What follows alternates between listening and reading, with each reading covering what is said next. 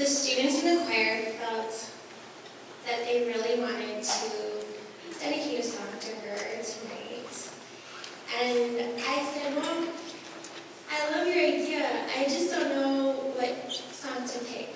So some of the students found out that one of her favorite songs was this song, Paradise. Which is pretty cool because um, not only is it beautiful, but last semester we we enjoyed a very challenging song that was also by Coldplay. So I just felt like it was kind of a special connection to that band and to our group, um, and obviously to her. So at this time, if there are any students that were in choir during semester one who would like to sing along with this song, um, please join us on stage at this time.